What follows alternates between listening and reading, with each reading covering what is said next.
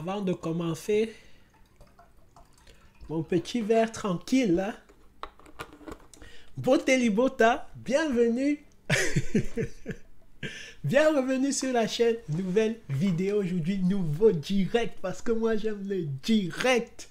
Et on va parler de l'histoire d'un autre peuple du Cameroun. Continuer cette petite série de vidéos sur euh, découvrir le Cameroun, qui est finalement un pays dont je n'ai pas beaucoup parlé au travers de toutes mes vidéos, mais par, on va découvrir l'histoire de ce peuple, pas l'histoire de certains de ces peuples.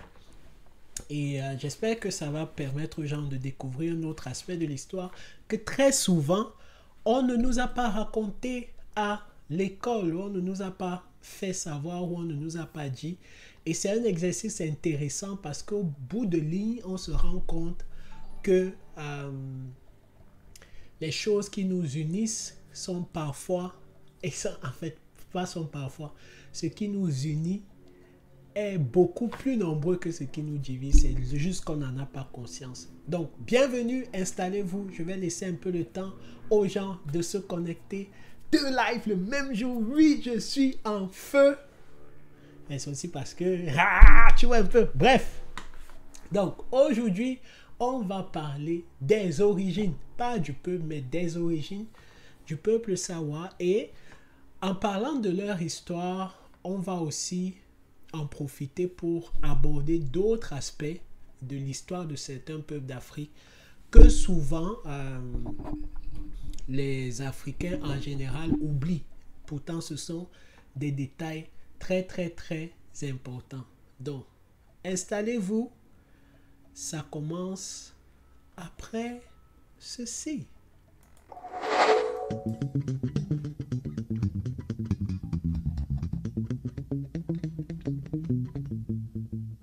Je veux le dire ici.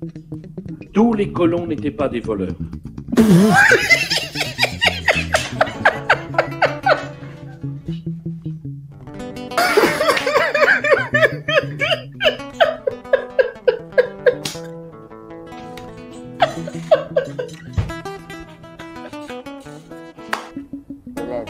véritables ennemis de l'Afrique sont des Africains inconscients. Car si tous les Africains exprimaient la même volonté d'être, la même volonté d'authenticité de dignité, eh bien l'impérialisme ne pourrait pas du tout réaliser son destin.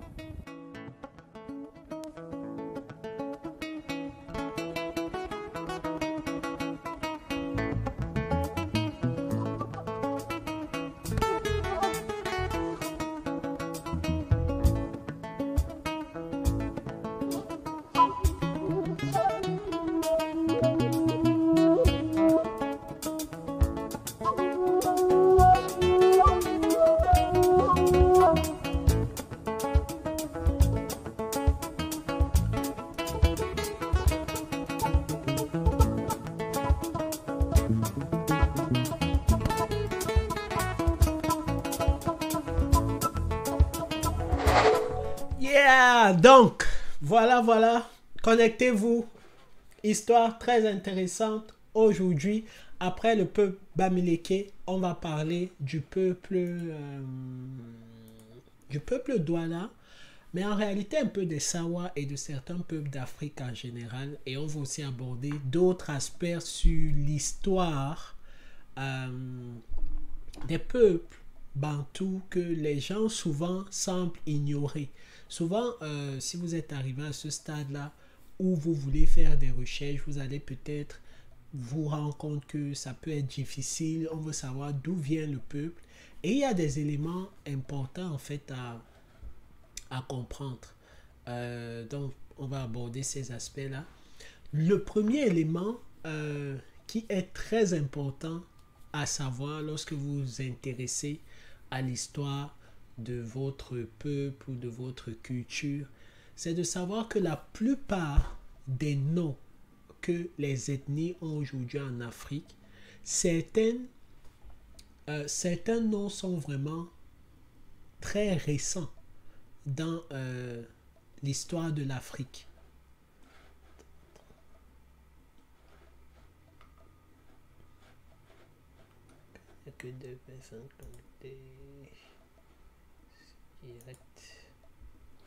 Donc, certains noms sont vraiment très, très, très récents. C'est-à-dire que euh, on peut parler des Douala aujourd'hui, des Betchi, mais ça ne veut pas dire que sur 200, sur 1000 ans, il existe un peuple Betchi. Il faut vraiment prendre ça en considération parce que souvent on fait des amalgames. Il y a des peuples qui sont nés au travers des migrations. Il y a des grands groupes qui, euh, lors des migrations, peut-être de Kemet jusqu'au jusqu'au sud, jusqu'au jusqu'en Afrique centrale, ont dû se séparer en bout de chemin, ont parfois croisé d'autres peuples, sont devenus des populations hybrides et ont soit adopté le nom de ce peuple-là, soit adopté le nom qu'on leur a donné quand ils sont arrivés euh, sur le terrain. Donc, c'est très important de savoir que, par exemple, dans le cas du peuple Douala, si vous cherchez des origines lointaines au peuple Douala ou Sawa, ce n'est pas sûr que vous allez en trouver parce que le nom Douala, Sawa, Ewondo et tout est assez récent dans l'histoire. Il y a des peuples qui ont pris leur nom juste après avoir, par exemple, au Cameroun, traversé la Sanaga lorsqu'ils fuyaient les invasions euh, musulmanes et ainsi de suite. C'est vraiment important de prendre ça en compte parce que euh, c'est des petits détails, mais souvent euh, les gens ne tiennent pas ça en considération et ils se disent que quand on parle des Bamileke, et si les Bamileke par exemple ont des origines égyptiennes, ça veut dire que quand on va aller fouiller, on va se rendre compte que euh, il y avait un peuple qui s'appelait Bamileke en Égypte. Mais ce n'est pas ça. Souvent les noms, c'est quand vous arrivez qu'on vous appelle comme ça ou c'est quand vous arrivez d'un pays. Donc, ça, c'est le premier point important, c'est qu'il faut prendre compte que les noms que certains peuples ont en Afrique aujourd'hui, ils les ont eu très récemment ou ils les ont eu à la suite de circonstances. Ça veut dire que quand on remonte, on peut se rendre compte que un peuple qui s'appelle aujourd'hui Douala ou autre chose. C'est assez récent en fait, surtout vu que c'est deux qu'on va parler, c'est assez récent. Donc ne remontez pas, qu'ils vous disent qu'ils viennent d'Égypte, n'allez pas chercher les Douala en Égypte parce que non, ce n'est pas forcément le nom qu'ils avaient lorsqu'ils étaient en Égypte. Donc c'est un détail, mais c'est très important. Donc si vous êtes Bassa, ça ne veut pas dire qu'il y avait un peuple en Égypte qui s'appelait Bassa, mais dans les migrations, il y a eu beaucoup de migrations interafricaines. Il y avait des, croisements, il y avait des peuples qui devenaient ensemble, il y avait des familles qui se disloquaient pour aller conquérir le territoire et pouvaient, pouvaient changer de nom, prendre un nouveau nom. Mais quand on remonte souvent, il y a la même ascendance. Donc, je tenais à dire ça. Donc, si vous n'êtes pas Camerounais ou si vous n'êtes jamais venu au Cameroun, euh, le peuple Douala, c'est un peuple euh, du Cameroun dont déjà euh, la capitale économique porte le nom. Coucou Amlan, Amlan est là. Salam Rebecca. Donc, donc en général, quand on va dire Douala à quelqu'un, dans sa tête, il va immédiatement faire le lien avec la capitale économique du Cameroun, parce qu'il y a une capitale politique, là où on fait la politique au Cameroun, là où il y a beaucoup de fonctionnaires, Yaoundé, et il y a une capitale économique, là où on cherche l'argent, et c'est vraiment ça, Douala. Et Douala, c'est une ville importante parce que c'est à Douala qu'en fait s'est joué l'histoire, ou on va dire la naissance du Cameroun moderne. Cameroun, c'est un pays particulier parce que c'est un carrefour de culture. Mais ce n'est pas un pays comme le Congo, où il y avait déjà un grand royaume Congo et il y avait euh, différents peuples. Et donc, ils ont évolué aujourd'hui, c'est splitté, il y a la République démocratique, la Non, non, non. Le Cameroun en tant que tel, l'histoire s'est vraiment jouée à Douala quand les Allemands ont rencontré les Douala et après des siècles de, je vais dire des siècles de commerce, ont finalement signé un traité qu'on va appeler le traité euh, Germano-Douala. Un traité en fait qui à la base, euh, c'était juste un traité qui allait permettre aux Douala qui étaient sur place de garder leur terre et de ne pas être victime d'expropriation et aussi de concéder euh, de concéder euh, certaines, certaines terres aux Allemands. Mais en fait, quand les Allemands ont signé le traité, je ne sais pas déjà en quelle langue le traité était, euh, c'était plus pour eux, genre, on est en train de prendre possession du Cameroun. On est en train de, en fait, que les chefs camerounais ont accepté de nous donner ou de nous céder leur pays. Euh, c'est un peu ce que j'ai pu lire euh, dans ce livre de Quand les anciens passent de Prince Doumbé. Donc, dans ce livre-ci, là, il a le témoignage des patriarches Ewondo sur l'époque coloniale, mais il y a un témoignage d'un patriarche et c'est en langue maternelle. C'est en langue maternelle, c'est transcrit en langue maternelle.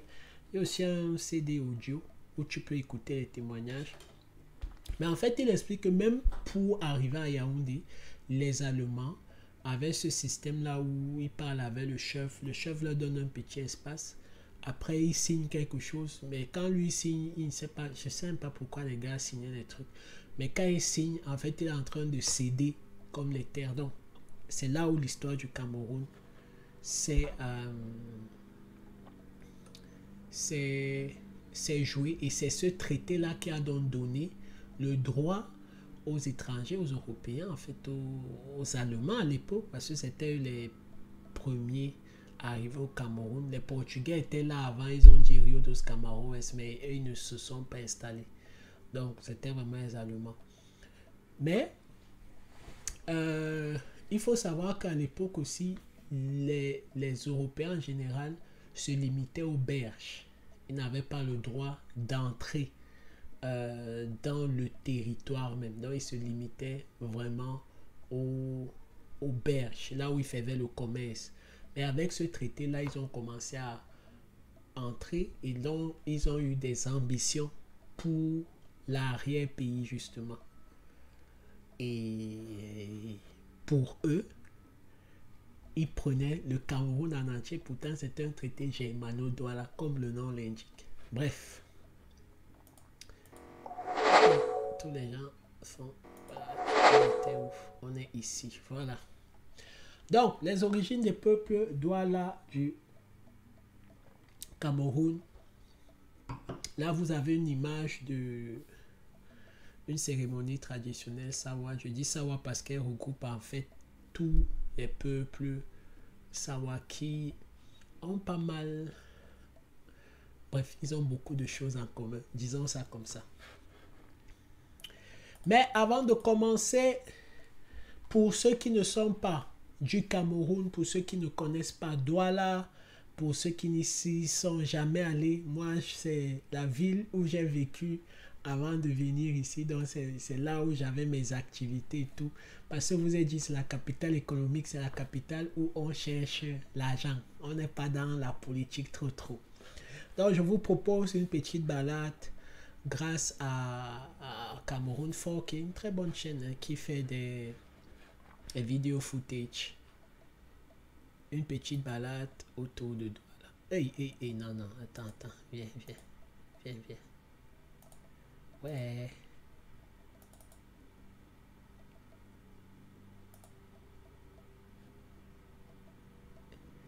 Assez, hein, je vais mettre play sur la fesse, comment? Ouais. Attendez, attendez, ne bougez pas, ne bougez pas. J'ai dit que... Ne bougez pas, je ne suis pas encore là. Je suis à la slide là, mon ami. Je veux mettre play. Je n'arrive pas à mettre play. Ça veut seulement passer à l'autre slide. Que comment, non? Voilà. Ça veut dire que ce n'est pas les choses. On ne fait pas des problèmes comme ça en direct. Je t'ai testé, tu as un colo. Bon. Euh, les amis, c'est-à-dire que je veux mettre play, mais la vidéo ne veut pas que je mette play. Non, c'est pas, pas.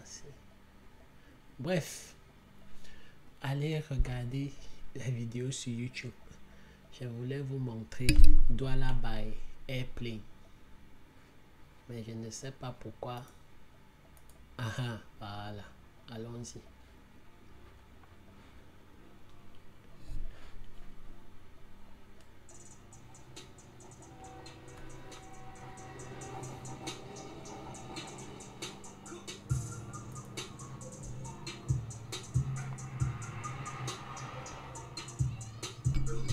Donc là, il y a le pont sur le Vouri. Point très important. Euh, Douala ressemble un peu à Cotonou avec les ponts. Bon, on a moins de ponts que Cotonou. Faut pas que j'entre dans ça. Bref. Hey, mon frère, je n'ai pas dit que rentre. On a le pont sur le Vouri. C'est vraiment une, vraiment une ville. euh, vue du ciel, c'est beau. Vue du ciel, c'est beau.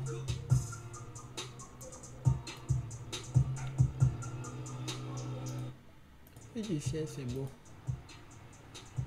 Il y a évidemment des entreprises, Simencam, ça Simencam et tout. C'est toujours beau. Vu du ciel, il y a des beaux quartiers, la verdure. Vous voyez, ces doigts-là, gars, la ville est Nyanga. Tu me parles de quoi?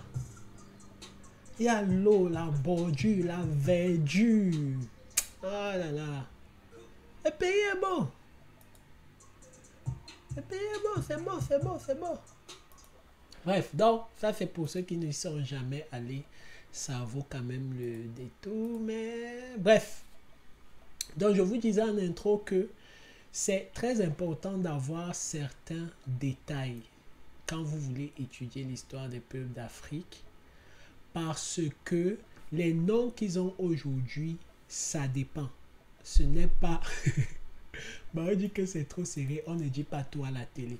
Les noms qu'ils ont aujourd'hui, ce n'est pas toujours les noms qu'ils avaient à l'époque. Donc, il faut être conscient de ça, que si un peuple s'appelle Douala aujourd'hui, euh, et quand vous remontez, vous allez plutôt chercher plutôt l'ascendance commune. Ne cherchez pas forcément les Douala en Égypte.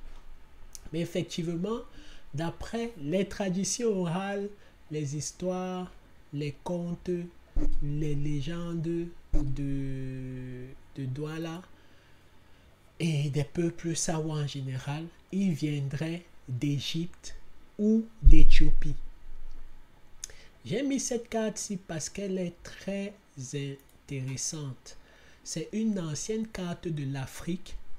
Et ça aussi, c'est quelque chose dont on n'est pas conscient. En fait, il y a beaucoup de choses que les gens ignorent souvent quand ils veulent étudier l'histoire ou rentrer en arrière. C'est que les cartes d'aujourd'hui, les frontières d'aujourd'hui entre les pays en Afrique sont très récentes. Et bizarrement, il y a beaucoup de pays en Afrique qui nous embrouillent un peu à cause des noms qu'ils ont pris.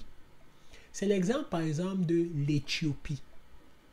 Ok, Diodore de Sicile, dans les années, euh, dans les années zéro, hein, Diodore de Sicile, un historien grec, comme un des seuls historiens qui a parlé vraiment de l'Égypte jusqu'à dire que c'était des, des Noirs, en fait, c'était les gens au visage brûlé.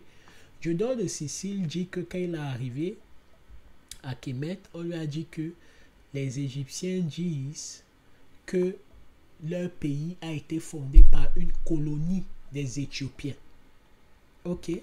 Et dans cette euh, carte de l'Afrique, une ancienne carte, vous voyez bien que quand on parle de l'Éthiopie, en réalité, on parle de l'ère Bantou. Ce n'est pas parce qu'on va dire des Éthiopiens, quelqu'un en 2022, lui, va voir l'Éthiopie actuelle. Alors qu'en réalité, même l'Éthiopie actuelle, qui a pris le nom Éthiopie, ne s'appelait pas Éthiopie, c'était le royaume d'Abyssinie. Donc, c'était vraiment l'Abyssinie, hein. c'était un royaume à l'époque. L'Éthiopie, si vous voyez bien sur la carte, vous allez vous rendre compte que c'est carrément la zone du Congo et c'est quand même la zone d'Afrique centrale. Il y a une époque où ça, ça s'appelait l'Éthiopie. Ici, sur la carte, je ne sais pas si vous voyez, ça correspondait au Soudan. Cette zone-ci, est. Pourtant aujourd'hui le Soudan c'est juste un pays quelque part là. Mais tout ça, c'était le Soudan. Et ici, vous avez, voilà, vous avez dans l'Abyssinie, vous avez l'Éthiopie, et ici vous avez la Nubie. Donc parfois quand vous, allez en arrière, souvenez-vous que quand on va vous dire Éthiopie, ça arrive même jusqu'au sud. Hein. Donc tout ce peuple, je comprends aussi pourquoi Djibon Barimbo dit qu'on ne devrait pas s'appeler chez Égyptien, mais il parle toujours des Éthiopiens, que nous sommes tous des Éthiopiens. Bon, ça... Donc voilà un peu. Ok? Donc il y a eu des migrations d'Éthiopiens il y a eu des migrations de Nubiens, il y a eu des migrations des Soudanais. Mais souvenez-vous toujours que n'étudiez pas les temps anciens avec les références d'aujourd'hui. Donc, d'après les traditions orales des Sawa ou des Douala, ok, euh, il serait venu d'abord d'Égypte. Premièrement, d'Égypte. Il serait arrivé au Congo ils ont fait beaucoup de temps au Congo. Et c'est à une époque relativement récente qu'il y a eu un détachement qui a remonté euh, le bord de l'océan Atlantique. OK. Et qui serait arrivé au Cameroun. Et quand on dit ça, il y a des gens qui ne comprennent pas que ah, vous ne venez pas d'Égypte, machin. Je voudrais vous montrer quelque chose que en fait, je ne sais pas, les gens ignorent peut-être, mais qui est factuel. Ok? Et pour ceux qui ne savent pas pourquoi je fais ça, je vous ai toujours dit que moi, je suis un juriste à la base. Même si aujourd'hui, je ne pratique pas le droit, j'ai quand même la façon de réfléchir. Donc, on va step by step. On établit les éléments. Donc, vous savez, il y a la technologie aujourd'hui. Et là, je vous propose de suivre le Nil. Parce qu'il y a des gens qui ne comprennent pas pourquoi ce fleuve est aussi important dans l'histoire de l'Afrique. Je ne sais pas si vous saviez que le Nil euh, prend sa source, pas en Égypte. Hein. Le Nil ne prend pas sa source dans la Méditerranée. Le Nil prend sa source au Rwanda. Bon, au Rwanda actuel. J'aurais pu dire en Éthiopie selon la carte. J'aurais même pu dire au Congo. Sa source en bas. C'est pour ça que dans les cartes ou dans les représentations, les anciens Africains représentaient leur territoire en l'envers. Parce que l'eau, l'eau va se jeter à la mer. Donc, elle, ne peut pas quitter... Euh, euh, comment vous dire ça? Elle ne peut pas quitter du sud vers le nord. L'eau est quand même logique. Ok Donc le Nil prend sa source au Congo. C'est pour ça qu'il représente leur, leur continent comme ça. Hein? À l'envers. Nord, sud. Tu vois un peu? La perspective, tu vois, non? Et pour ça, mon beau t-shirt là. Je suis frais avec, sur mesure. Ça me donne même les muscles. C'est pour ça qu'ils représentaient leur continent comme ça. Parce que dans leur perspective, justement, il suivait la logique de l'eau. Ok, mais revenons, parce que les gens, les ignorent des trucs basiques. Et ils viennent nous mettre des commentaires de n'importe quoi. Donc, voici le Nil. Nous sommes au Caire moderne. Ok, ça ne s'appelait pas le Caire avant l'invasion arabe. J'ai dit ça, personne ne sait jamais. Voici le Nil, Suez, il y a un canal là, qui a permis de connecter ces deux parties parce que les Européens cherchaient un raccourci. Bref, c'est pas le sujet. Golfe de Suez. Voilà, j'espère que je suis sur Google Maps, donc personne ne va dire que wow, wow, wow, j'ai trafiqué quelque chose.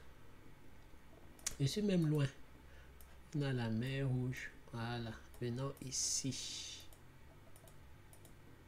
Ah, da,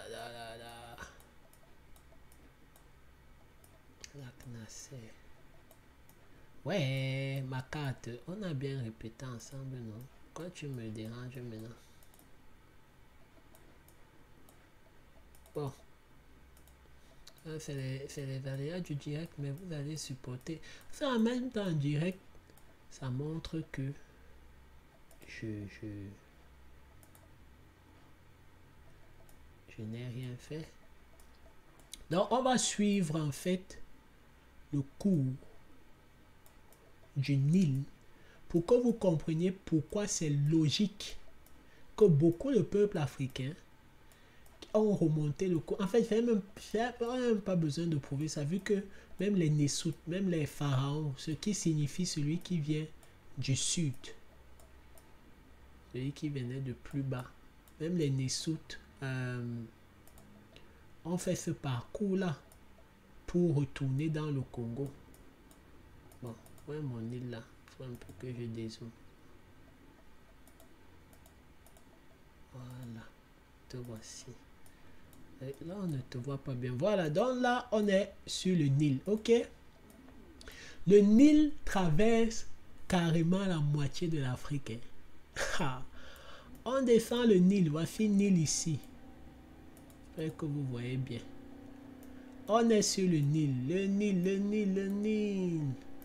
On descend le Nil, le Nil, le Nil, le Nil. Voici toujours le Nil, hein. c'est toujours lui. Nile, Nile, Nile. Donc il n'y a pas que le Nil en Égypte. Hein. On descend le Nil, le Nil.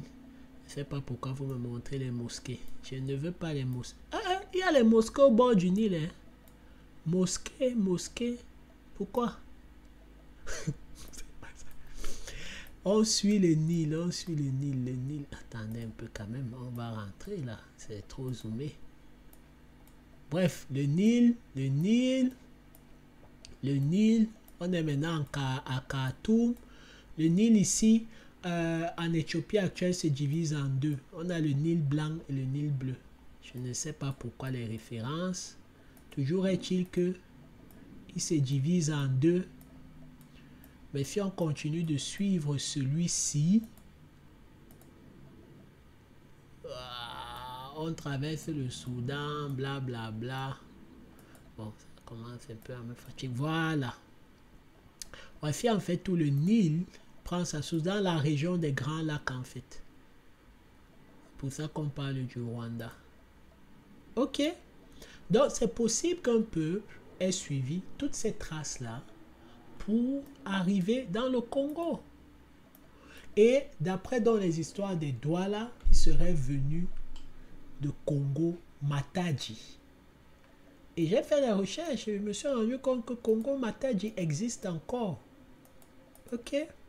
Je ne sais pas si c'est la même ville, mais Congo Matadi existe encore aujourd'hui. Bref, donc je vous montrais juste que c'est logique. Après, si vous voulez discuter, euh, discuter, c'est pas le sujet.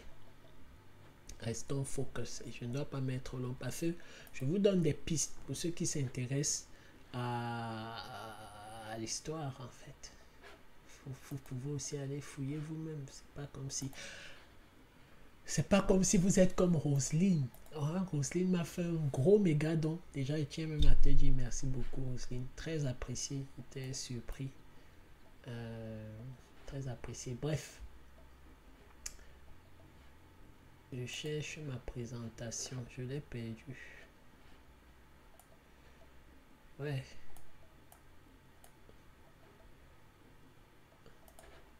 Ouais, ma présentation. Et j'ai fermé ma présentation. Et, la honte de ça, mon frère. Comment elle peut Et, machin. Wanda Chanel Hey. Mais voilà ma présentation à l'écran. Je vous dis que je vis les miracles en direct. C'est-à-dire que je présente un truc qui n'est plus affiché à l'écran. Ah,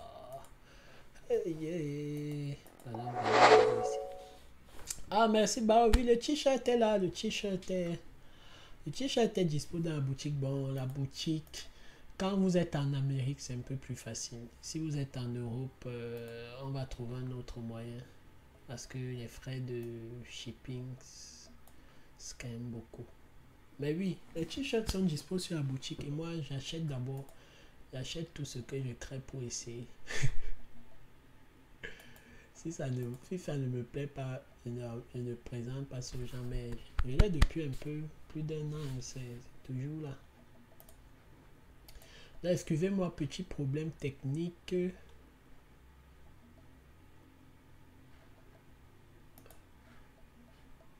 problème technique. On va voir ici. Ok. Donc, je, j'établissais vraiment ces deux bases-là pour que, euh, en fait, les gens ne soient pas confus. Donc, ah, je sais même pas si vous voyez clair. C'est vrai que c'est petit. Non, avant d'arriver ici. Donc ça, c'est une carte euh, des, ethnies, en fait, des, ethnies du Cameroun. Euh, je vais essayer de la mettre un peu plus gros. Pour qu'on voit mieux. Voilà. Donc ça, c'est une carte des ethnies du Cameroun. Et il y a des grandes familles, il y a des grands groupes en fait. Euh, donc, en général, on va parler des Bantous, des semi-Bantous et des Soudanais au Cameroun. Et il y, a des, avait un mensonge colonial qui disait qu'on a 250 ethnies au Cameroun, on est trop nombreux, on ne peut pas s'unir. Mais en réalité, c'est pas vraiment vrai. Il y a beaucoup d'ethnies, il y a peut-être une quinzaine de peuples différents et peut-être même une dizaine, je dirais. Mais la plupart des autres ont la même ascendance. C'est juste que je ne sais pas qui a fait le décompte des ethnies, sur quels critères. On a commencé à appeler tout petit détachement d'un groupe des ethnies. Et moi, je comprends pas ça. C'est comme si un an, si vous avez un, peu, on va parler par exemple des Bamileke, c'est comme si vous avez un ancêtre commun connu, un roi qui avait ses fils qui se sont séparés. Oui, les cultures ont pris des habitudes spécifiques à, je sais pas où elles étaient et tout. Mais pour moi, en tout cas, ce n'est pas ça qui, qui fait qu'on peut parler donc de, de plusieurs ethnies comme ça, en fait. Moi, je pense que c'était plus utilisé euh, de façon plus pour diviser, en fait, parce qu'en réalité, c'est comme si ma famille aujourd'hui, chacun va de son côté, fonde d'autres familles, et après on vient nous dire que chaque sous-famille est une ethnie c'est un peu paradoxal pour moi. Euh, donc c'est ça. Mais on va écouter euh, l'origine. On va écouter les ancêtres. J'ai pas voulu raconter n'importe quoi dans cette vidéo. Donc, je vous propose. À l'époque de Louis XIV, à la campagne, l'hygiène est. Toi, ça va, on a déjà réglé ton cas. Je vous propose. Aïe, aïe, aïe encore le commentaire de l'autre. Je vous propose d'écouter les patriarches pour qu'ils nous disent d'où viennent dans les doigts après qu'on ait établi ces quelques faits-là. Un instant, je dois masquer ça. Masquer ça, ce n'est plus le sujet. Browse. Donc, Soyez attentifs. Et on y va maintenant.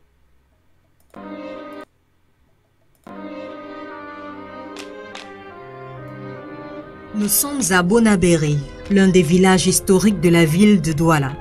Et Bongo Anatole, ici à l'image, est l'un des rares patriarches historiques encore vivants avant de disparaître, ses ancêtres avaient pris le soin de lui léguer la sagesse de l'histoire de son peuple. Nous l'avons trouvé ce jour-là dans son bureau, plongé dans l'écriture de son prochain livre sur l'histoire de sa ville.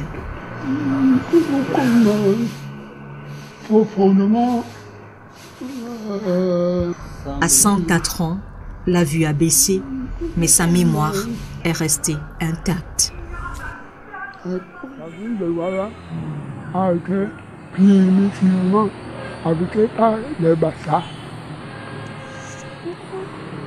Je veux dire que À, cette époque-là, les Douala avaient déjà quitté Congo-Matadi. Un, un de ces- c'est le, plus démocratique du Congo. Il y a un port là-bas qu'on appelle Matadi. C'est de là que sont partis les Douala. il y a ce petit coin qui raconte nos origines. C'est le coin Congo d'où sont partis les Douala. Une bonne partie tout au moins. On n'est pas parti d'un seul village congolais. Vous avez là-bas un masque doté d'une histoire un peu particulière. Il a failli euh, tuer un blanc au Congo. Je n'irai pas dans le détail. À côté, il y a la statue euh, baptisée euh, Nkisingondi. Nkisingondi, c'est une divinité. Là-haut, un autre masque, le masque d'une de nos divinités, Nyo, la déesse Nyo. Nyo en Douala, comme en Bassa, en Mongo, en Abo, etc., désignait le serpent. Ça ne sait pas. Mais en Douala, le Douala a retenu sa définition cheveux. Cette déesse avait des serpents pour cheveux. Nous gardons ce coin Congo pour que personne, pour que aucun fils, aucune fille de ce terroir Sawa n'oublie d'où il vient. On dit que c'était pour une histoire de mauvais, partage de viande de- d'éléphant.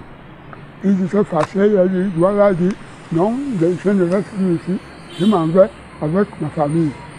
C'est comme ça que les Douala sont partis du Congo Matadi pour euh, un peu plus au nord, sur la côte du Cameroun. Ils ont tenté d'abord du côté de Manoka, en Sénégal maritime. De la Sénégal maritime, ils ont passé par une petite passe, une passe qui était là, qui est là, pour entrer enterrer le- la, la, la tête de, de, de. Et de là, ils venaient de temps en temps pêcher du côté de, en aval, là, du côté de Manoka, là où on appelle aujourd'hui Mbengamsumbo. Et ils trouvaient que des pots de bananes venaient moment de la marée, de la marée, marée basse. Ces pots de bananes venaient de, gens qui devaient se trouver un peu plus haut là-bas, sur le fleuve, qu'ils avaient, toujours évité. Alors, ils se sont hasardés un jour à dire non, tant qu'à faire, nous remontons le fleuve. De Manoka, ils ont remonté le fleuve et ils ont trouvé le bassin. Le bassin était là. les Douala sont venus comme des pêcheurs. Ils ont vu une bonne eau, commencé à pêcher. Là, ils sont commencé à rester là l'un après l'autre. Comme ça, la pêche auparavant, on restait en groupe. Et après, le départ des uns, les autres venaient. Ils sont si- sillonnés donc, restés donc au bord de ce vouri-là. C'est ce vouri. Le voilà venait de Congo. Ils sont des Congolais. Si vous entendez même les langues se, re- se, re- se ressemblent. Ils parlaient comme des Congolais.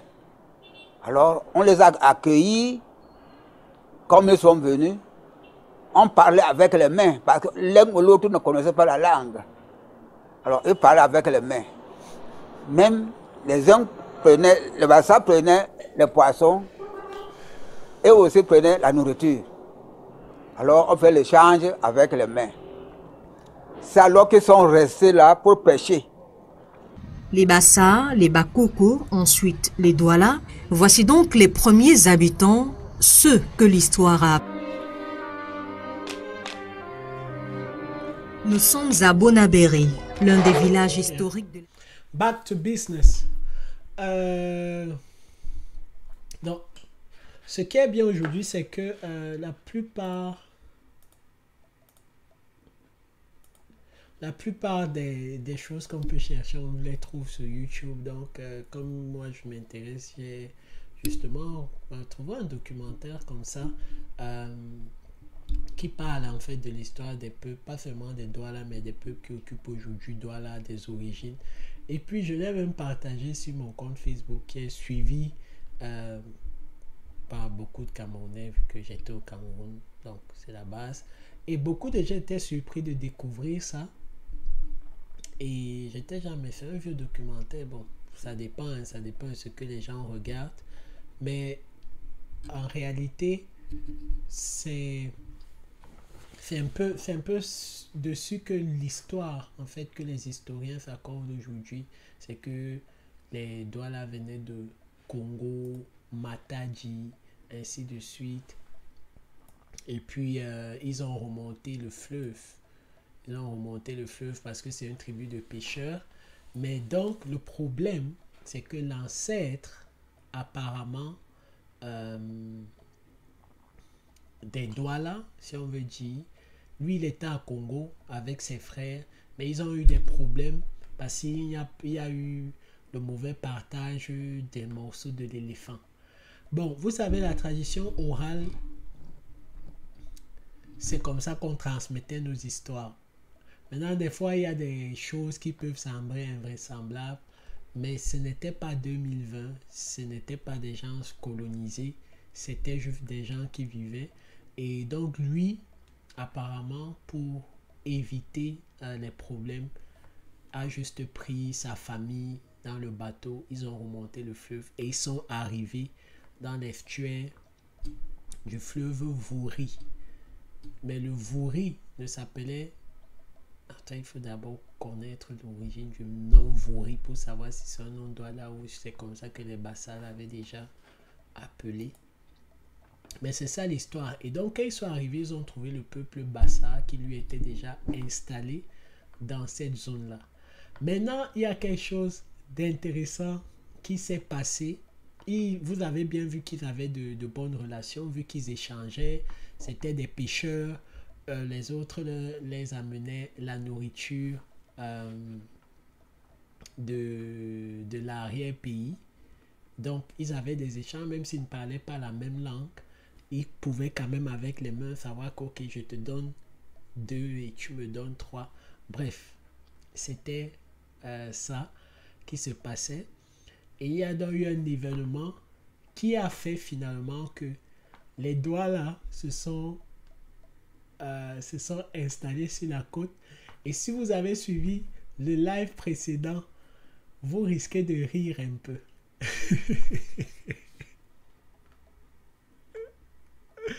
vous risquez de rire un peu, mais ce n'est pas moi qui dis l'histoire. Ok? Ce n'est pas moi. C'est aussi ce que j'ai suivi. Euh, j'ai vu que beaucoup de gens, c'est la version qui se relaie. Bref, on va juste écouter The Ancients. Ok On va écouter les anciens.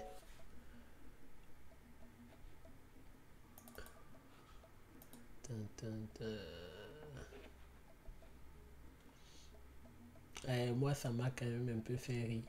Mais c'est l'histoire telle que racontée.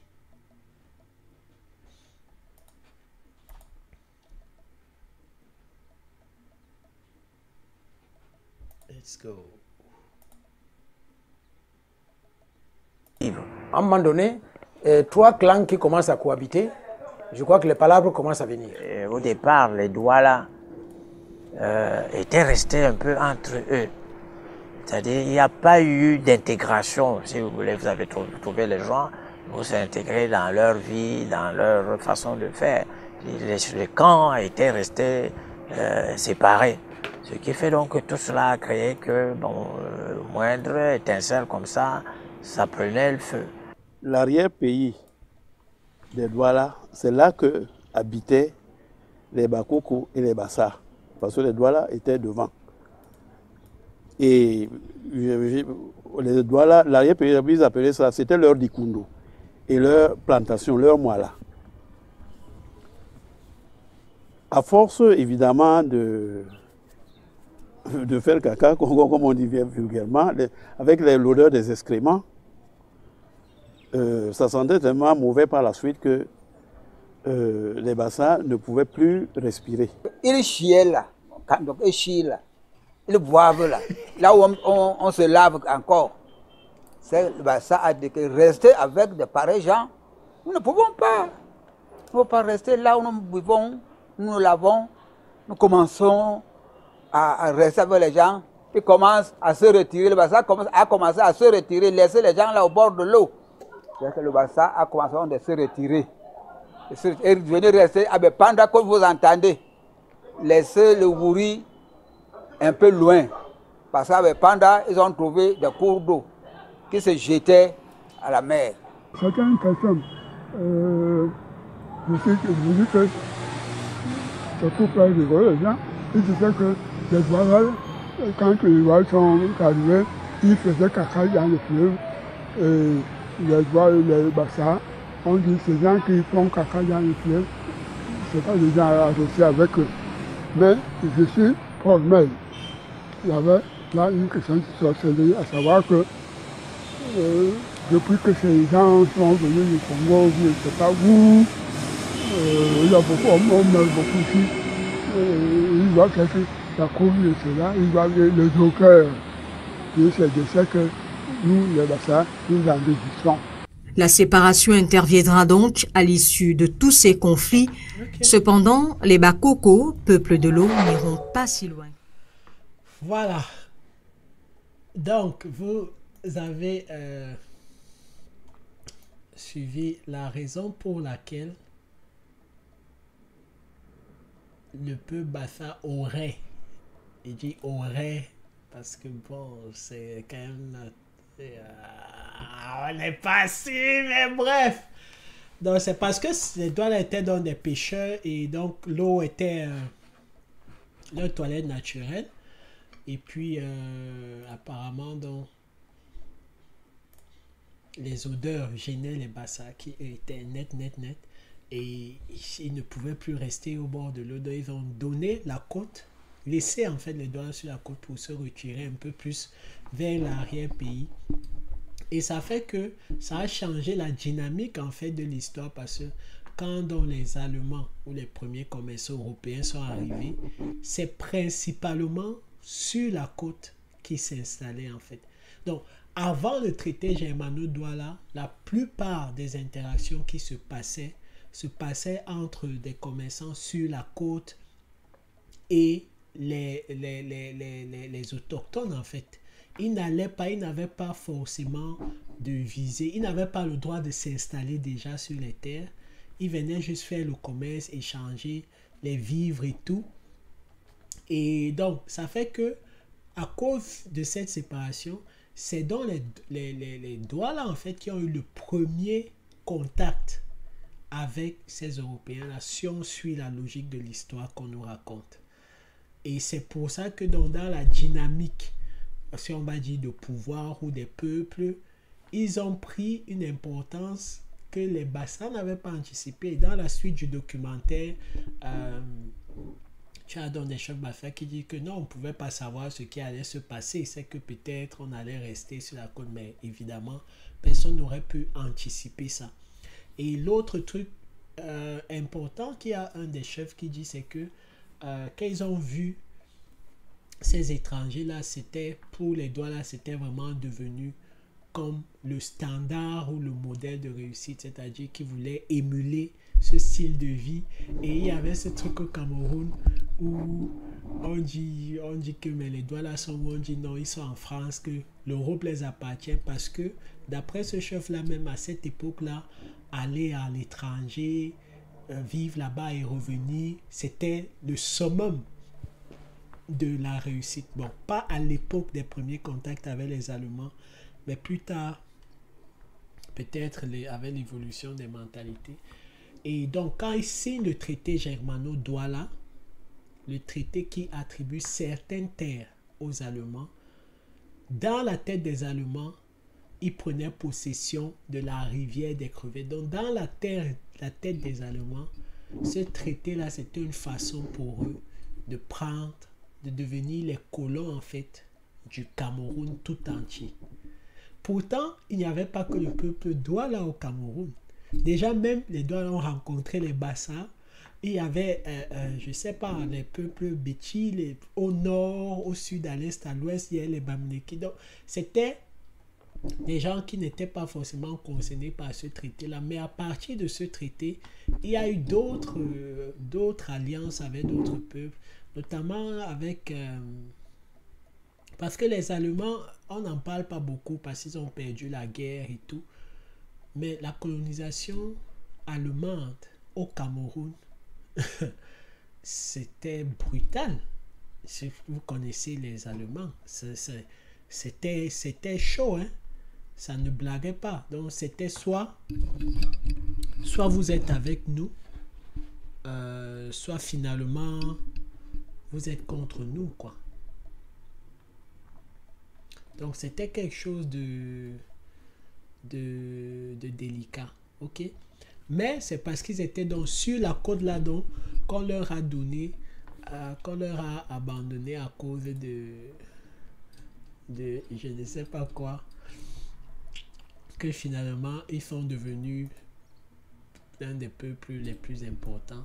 Et aussi la langue Douala est devenue la langue de partage euh, de, de la plupart des peuples sawa, même s'ils ont des identités distinctes, c'est quand même la langue Douala qui est un peu genre la langue de fonctionnement, justement parce que si c'est eux qui ont les premiers contacts, c'est leur langue qu'on va choisir, un peu comme ça s'est passé avec euh, quand les Allemands sont arrivés à Yaoundé, ils ont trouvé le peuple Ewondo qui parlait l'Ewondo et c'est devenu la langue qu'ils ont voulu utiliser pour tout le monde.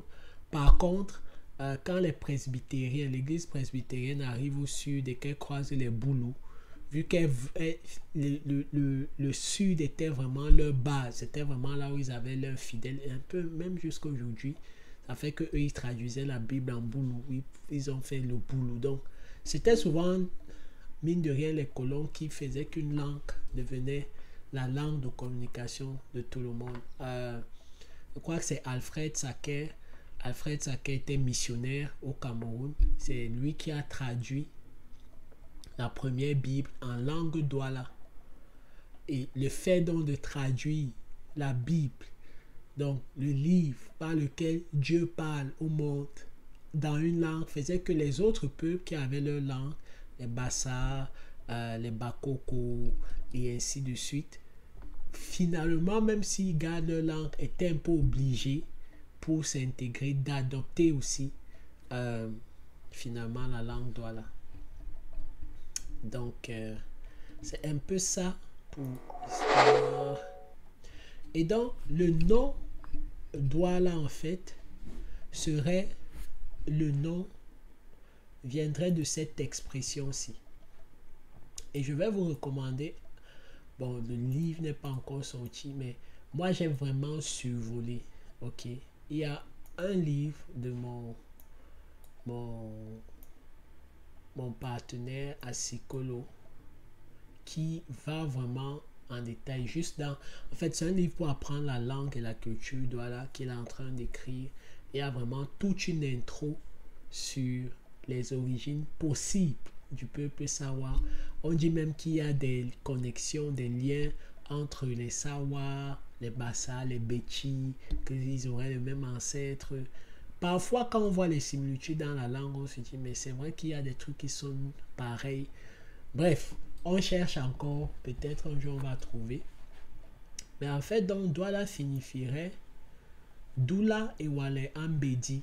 Bedi est celui en général qu'on considère comme l'ancêtre commun euh, des peuples Sawa, Mbedi.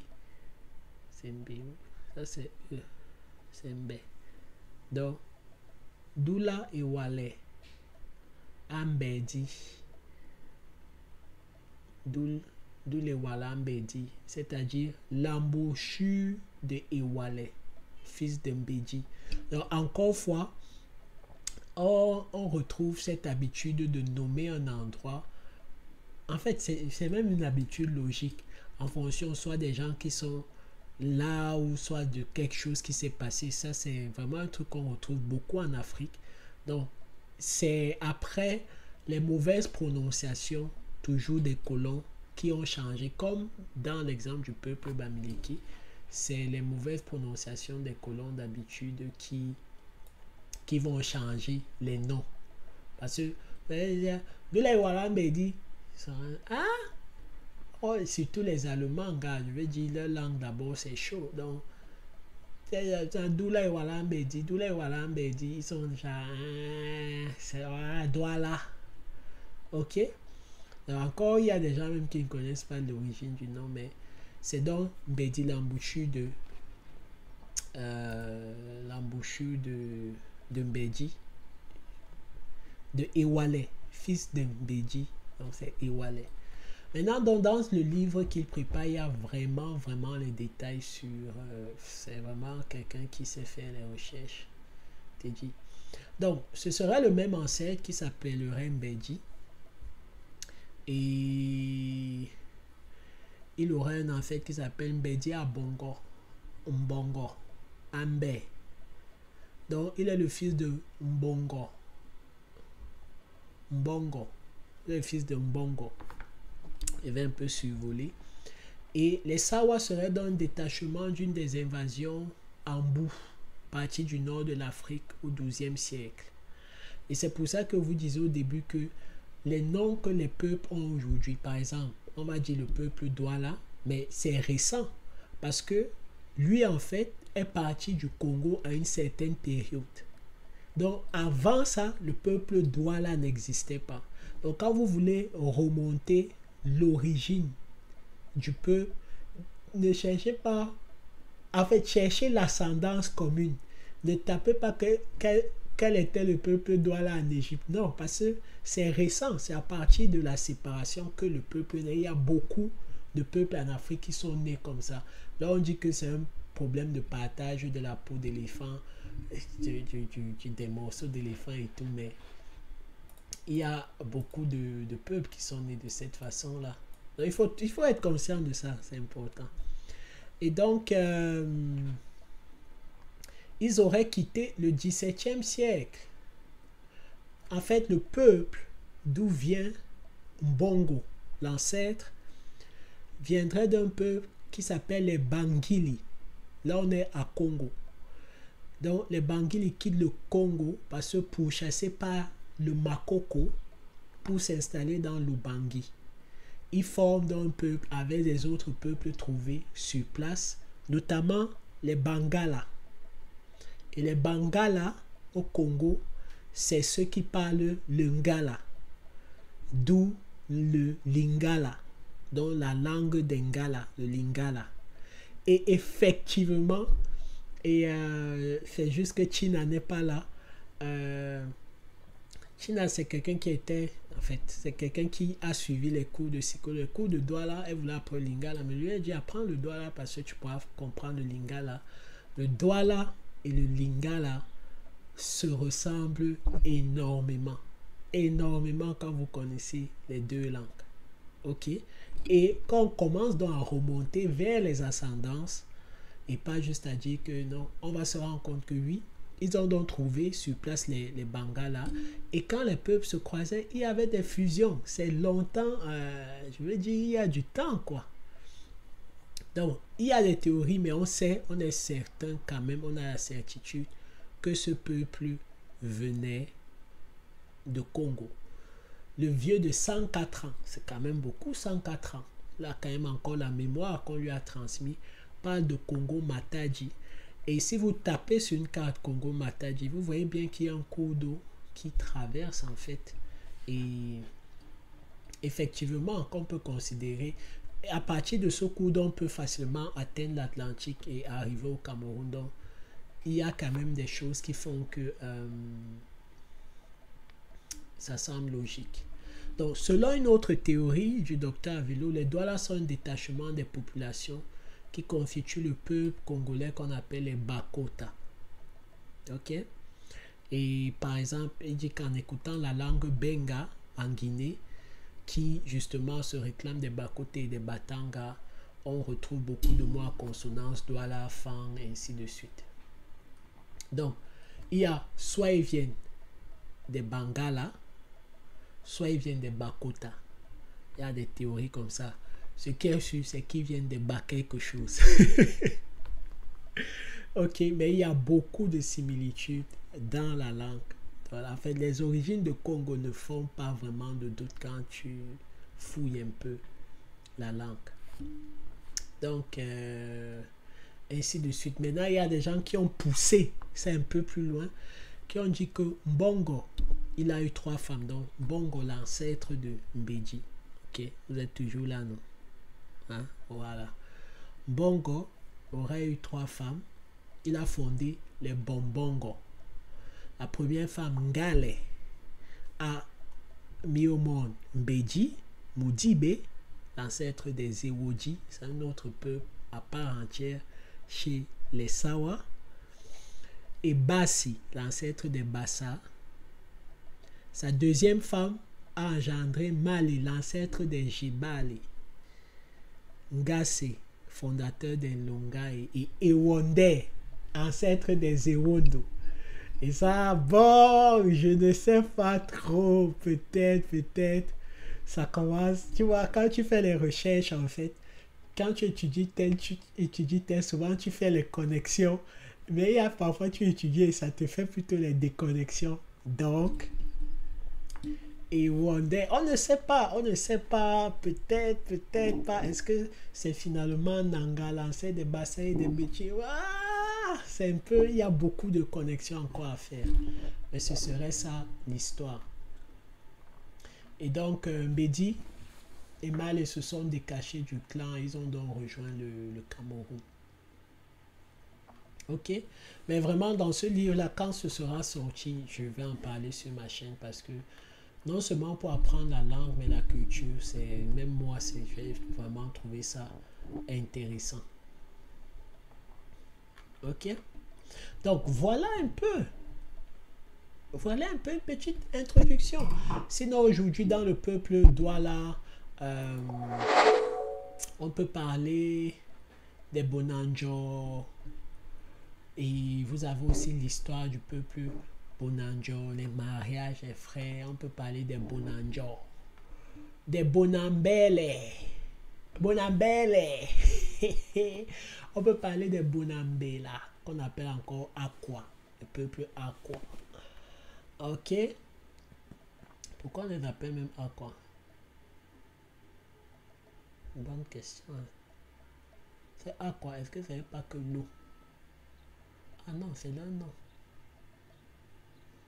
Hmm, bref, je ne vais pas entrer dans les détails, sinon je suis en train de spoiler le contenu du livre. Les Bonabelle, les Bonabella, Deido. Ancêtre de Deido serait un bancon au nom de Ejobert. Intéressant. Donc voilà un peu petite introduction. J'espère qu'il y a des, euh, euh, des doigts là qui vont compléter dans les commentaires. Ne vous déchirez pas sur l'histoire de la côte. C'est pas important. Mais c'était une petite introduction sur euh, l'histoire du peuple Douala en fait. Ou du peuple savoir en général. quand son livre sera prêt, je vais en parler. Il y a toute une introduction sur l'histoire. On te parle de comment telle famille a épousé telle famille. Je suis impressionné par le niveau des recherches qui a été fait. Mais voilà, vous savez déjà un peu plus sur les origines de ce peuple si vous ne saviez pas. Donc, euh, vous voyez qu'au Cameroun, on a un peuple, on a une ville où c'est écrit l'histoire du Cameroun, mais c'était quand même un peuple en provenance du Congo Matadi. Donc, quand je dis toujours, oh oui, on a des frontières aujourd'hui, mais en réalité, hein, il y a beaucoup plus de choses qui nous connectent. Donc, des fois, vous allez faire les batailles inter-pays, les batailles inter-ceci, alors que ce sont vos frères ancestraux que vous êtes en train de, de combattre, je ne sais pas quoi. Euh, et c'est vraiment important. C'est vraiment important. Même pour moi, c'est important de savoir que d'où vient le nom de, de cette ville. Parce que Yaoundé, c'est un peu moins glamour. Ça vient d'Ongola, machin, truc. euh, C'est un peu moins glamour, mais là, tu sais que c'était l'embouchure de Wallet, fils de Mbedji. Diwala, Diwala, Diwala, Diwala, tu vois. Et finalement, euh, afin que c'est facile de comprendre certaines choses, c'est facile d'établir certaines connexions euh, entre les peuples, notamment au Cameroun. Ailleurs, c'est peut-être plus facile parce qu'il y a peut-être trois peuples et les gens se comprennent. Mais souvent, dans le Cameroun, c'est un peu plus compliqué que ça. Voilà ce que je voulais partager avec vous. Euh, et oui. Donc merci encore à Roselyne pour ton don. Merci beaucoup. Très très très apprécié. Et euh, voilà, on se revoit bientôt les amis. On se revoit bientôt. De temps en temps, je vais faire des vidéos comme l'autre parce que j'aime bien faire. J'aime bien rire. hein. Faire rire. Ouais. Donc, euh, parce qu'en même temps, on va pas parler de, l'histoire tout le temps. On vit aussi dans le présent.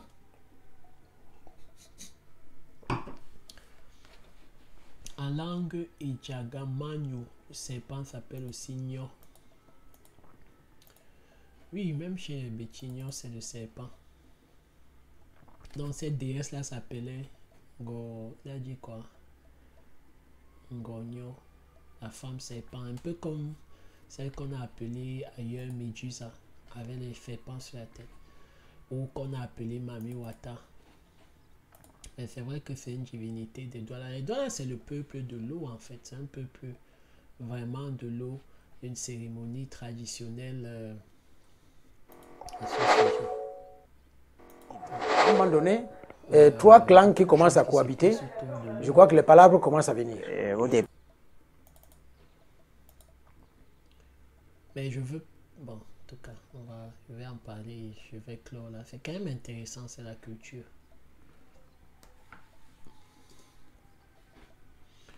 Mais ce que je fais, les amis, c'est vraiment des. Je veux juste susciter l'intérêt. hein. Je peux pas parler d'un peuple en une vidéo. De... Non, c'est pas. C'est vraiment des. Des,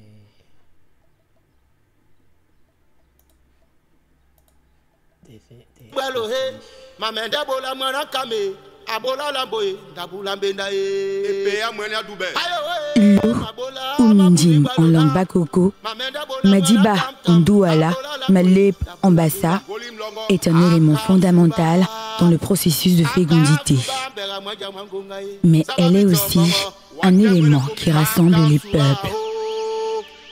Un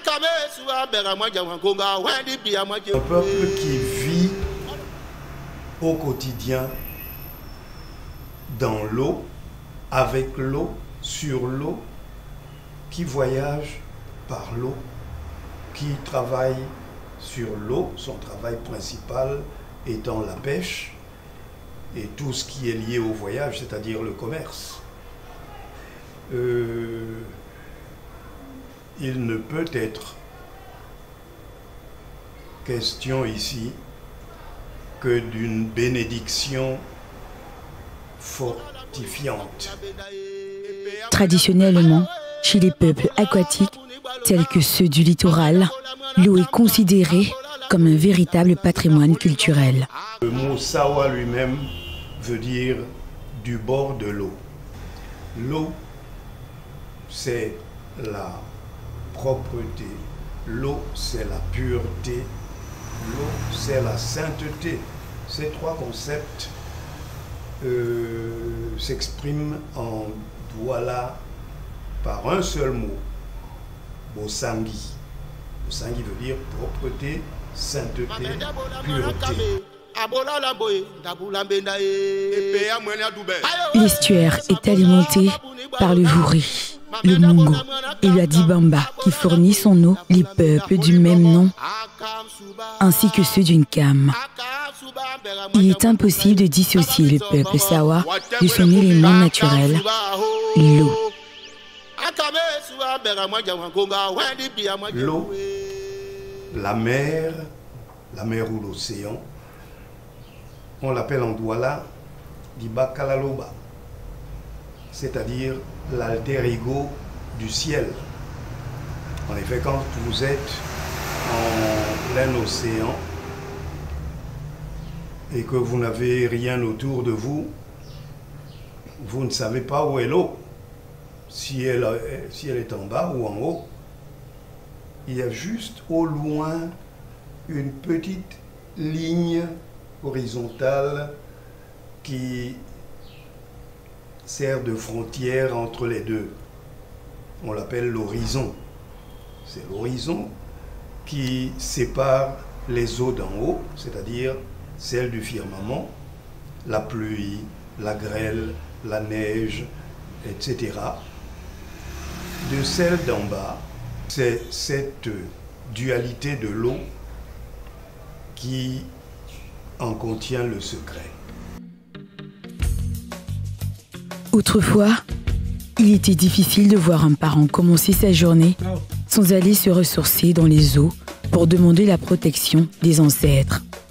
Tout cela nous met en position de spiritualité qui explique des rites tels que la bénédiction du fleuve, la bénédiction des êtres dans le fleuve, au moment où on procède à un rituel dans ou sur les eaux d'en bas, les eaux d'en haut viennent se manifester par une légère pluie en guise de bénédiction. Et l'eau est toujours au cœur du rite. Vous les voyez tantôt avec cet aspersoir en chasse-mouche qu'il trempe dans l'eau et asperge ce qu'il y a à asperger. On l'asperge de quoi? D'énergie bénissante. L'on raconte qu'il y aurait des entités protectrices dans ces profondeurs, du nom de Miengu. En langue française, on parle de sirène. Nous avons ceci de particulier que tout ce qu'il y a dans les eaux d'en bas existe également dans celles d'en haut. Aux poissons correspondent les oiseaux et même les êtres spirituels que sont au-delà des eaux d'en haut les anges, c'est-à-dire les êtres du haut, hommes, oiseaux, correspondent dans les eaux d'en bas par le mot Djengu en Douala. Ce sont nos anges qui sont nantis des mêmes missions, investis des mêmes pouvoirs et, de, et autres particularités que ceux d'en haut.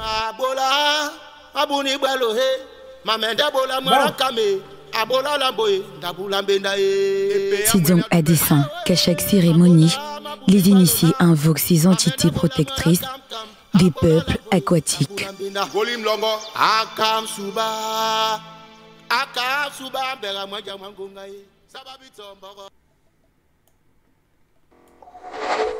Ah, moi j'aime beaucoup la chanson. Voilà, donc, petite excursion euh, auprès du peuple du Cameroun. J'espère que vous allez apprécier la vidéo. Continuez de liker, commenter, partager, blablabla, bla, bla, faire des dons, ainsi de suite. Mais voilà, on est ensemble. C'est euh, découvrir, apprendre l'histoire d'un peu. Moi, je crois que c'est de respecter. Enfin, prendre le minimum de l'histoire d'un peu, apprendre la culture, pourquoi les gens font comme ça. Et puis, parfois, ça permet de comprendre. Euh, en fait, de mieux vivre ensemble, de mieux s'intégrer quand on comprend la différence, quand on comprend qu'on peut être dans le même pays, mais ne pas avoir forcément euh, euh, la même culture ou la même façon de voir et donc trouver le moyen de mettre tout ça ensemble. C'est ce que je voulais partager avec vous. Sur ce, je vous laisse. Ah, et on se voit à la prochaine. La prochaine fois que vous allez à Douala, vous saurez un peu plus sur ce qui s'est passé. Il y a beaucoup de choses dont on pourrait parler, les chefs, les artistes, la beauté de la langue. Euh, moi, si ce n'était que moi, ce serait une des langues nationales du Cameroun. La langue Douala, franchement. Parce qu'elle est vraiment belle. Et j'espère que je vais finir mes cours de Douala. ouais. Donc, on fait comme ça. Quand fait l'histoire, il n'y a pas beaucoup de commentaires. Quand telle l'histoire de l'autre, en fait, je, je, commence un peu à voir un peu ce qui... C'est vrai que moi-même j'aime ça parce que c'est free, mais... En tout cas, on va parler de tout. Il y a pas de poème. Il a pas de. Bon. Ah, merci Boris. Euh, thank you, thank you, thank you, thank you. Mais de toutes les façons, cette, cette vidéo, cette long live, euh, éventuellement plus tard, je compte vraiment en faire des vidéos où c'est plus monté, où c'est plus réduit, parce que c'est que les gens n'ont plus, bon, ça dépend des sujets, n'ont plus une certaine attention pour certaines choses. Mais faites des recherches, hein, fouillez. Il y a beaucoup d'anciens à Douala qui n'entendent que ça. Le prince Koumandouba, lui, il a carrément une fondation, Afrique à venir, avec une bibliothèque, avec des ouvrages même rédigés en allemand euh, sur l'histoire du Cameroun, l'histoire de Douala, beaucoup de choses que, parce qu'il y a beaucoup de choses que les Allemands euh, qu'on sait aujourd'hui parce que les Allemands écrivaient, parce que partout où ils arrivaient, euh, ils étudiaient le peuple, ils étudiaient la langue, le boulot, les, les premiers éléments en boulot, ainsi de suite. Euh, oh, thank you, thank you. Un nouveau, un nouveau membre. Merci Sango Gando, merci beaucoup. Donc, ils étudiaient les peuples, ils étudiaient la langue, la culture et ils documentaient en allemand. Donc, comme lui maîtrise allemand, il y a beaucoup de, de ressources hein, que vous pouvez trouver euh, localement. Le seul truc, c'est qu'on est une des réseaux où quand quelqu'un cherche quelque chose, il va d'abord chercher sur Internet. Mais vraiment intéressez voir, intéressons-nous à l'histoire de, de, nos peuples, quel que soit le pays où vous êtes. Euh, parce que pour moi, apprendre l'histoire d'un peuple, c'est le respecter. Apprendre la culture, c'est respecter. Ça veut dire que tu, en fait, tu vas pas te comporter n'importe comment. Et plus je découvre l'histoire des peuples d'Afrique, plus je fais tellement de liens, plus je fais des connexions. C'est fantastique en fait. Tu apprends tout petit, ah oui, je comprends pourquoi tel avait dit tel. Et c'est comme ça que finalement on va finir par se bâtir une sorte de mémoire commune. Mémoire commune, ok. Sur ce, je vous laisse. Bienvenue Sangongando. Merci d'avoir rejoint la Libota. Pour tous ceux qui veulent soutenir la chaîne, quand même, je rappelle que si vous voulez faire un don, s'il vous plaît, j'aime beaucoup YouTube, mais utilisez le lien qui est sous ma vidéo. Parce que YouTube est bien, mais YouTube aime couper. Donc, euh, que ce soit les sponsors, que ce soit les dons, YouTube prélève un bon 30% hors taxes. Parce que quand tu mets les taxes sur tous les dons que tu as. Ok? Donc, euh, quand vous utilisez le lien, ça passe dans PayPal. Vous pouvez écrire un message. Vous pouvez même souscrire là-bas pour un truc. C'est sécurisé, hein, c'est pas les plateformes du jeu. Donc, quand vous voulez soutenir, utilisez le lien et puis PayPal a des frais, mais c'est pas 30%. Ah. Bon, je vous laisse. Ciao, bolo. Et on se revoit le jour où on se revoit. Thank you.